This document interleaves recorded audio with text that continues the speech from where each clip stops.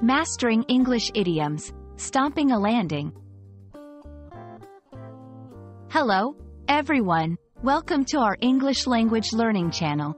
Today, we're diving into an interesting and vibrant expression, stomping a landing. This phrase is not only colorful but also gives insight into English idiomatic expressions. So, let's jump right in and explore what it means and how you can use it in everyday conversation.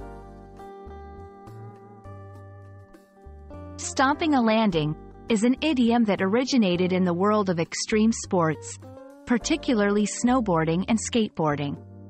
To stomp a landing means to land a jump perfectly and with great confidence. It's about executing a difficult maneuver with skill and flair.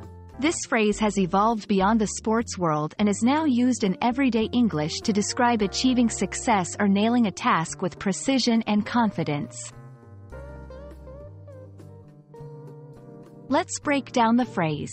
Stomping typically means to tread or stamp heavily. In our idiom, it symbolizes doing something with force and authority. A landing refers to the act of coming down to the ground safely, especially after a jump or flight. Here, it represents the completion of an action or task.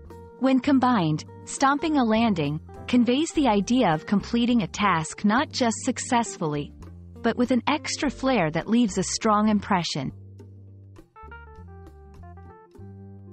You can use this idiom in various contexts. In the workplace, she stomped the landing on that presentation, impressing all the clients. In personal achievements, after months of preparation, he really stomped the landing on his piano recital.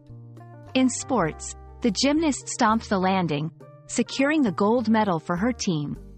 Remember, this idiom is best used in informal settings to describe actions that are executed impressively and confidently.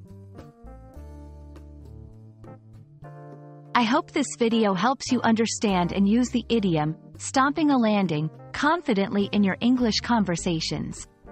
It's a fun and vivid way to express success and skill. Keep practicing, and soon, you'll be stomping the landing in your English language journey. See you in the next video.